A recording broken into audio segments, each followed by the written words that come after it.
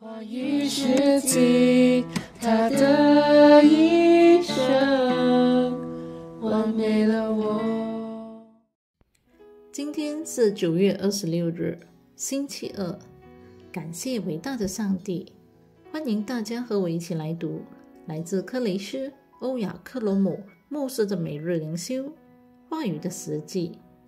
我们感恩他的话语可以接近每一个人的身心。和灵，今天的信息题为：在祷告中借力这切。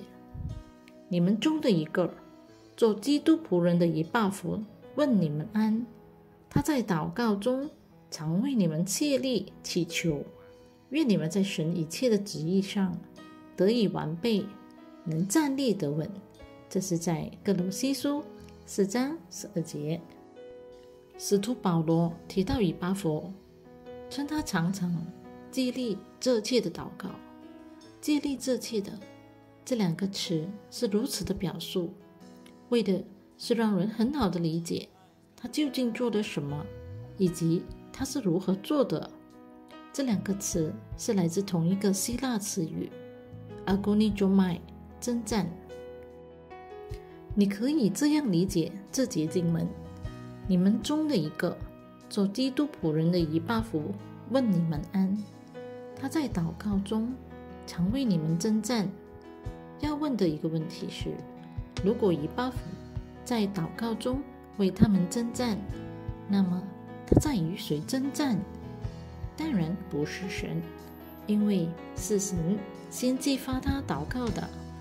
神是聆听并回应祷告的，因此神。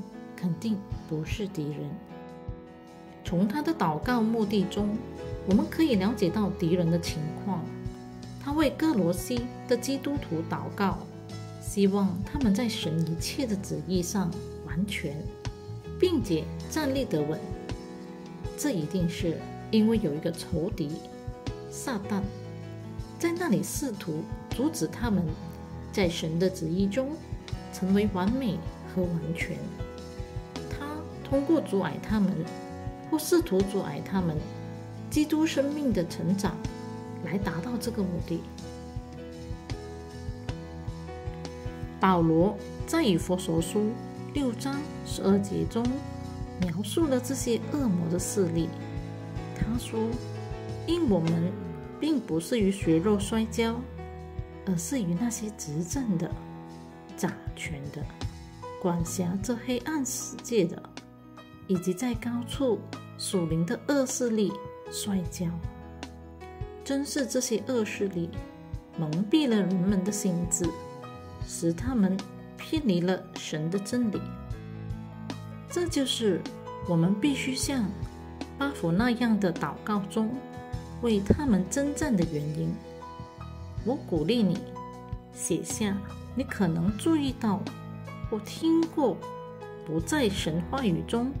光走行走或偏离信心之人的名字，并在祷告中为他们征战，每天热切地为他们祷告，你会看到显著的成果。哈利路亚！让我们一起来祷告，亲爱的天父，我打破黑暗的血灵，对我的家人、朋友。和世界上其他常未重生之人的影响，我祷告他们的心智和心向主敞开，让荣耀的福音之光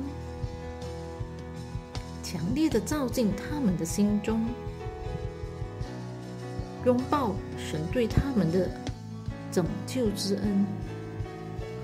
在耶稣的名里，Amen。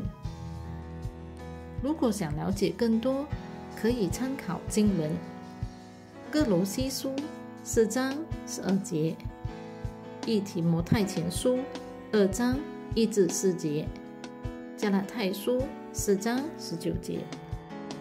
哈利路亚，主内平安。这本每日领修话语的实际，现在已经有七千多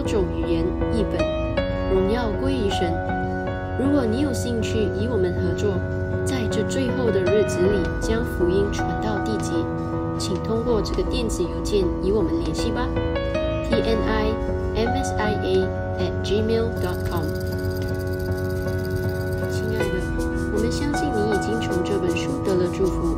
我们邀请你，让耶稣基督成为你生命的主。请祷告：主神啊，我全心相信永生神的儿子耶稣基督。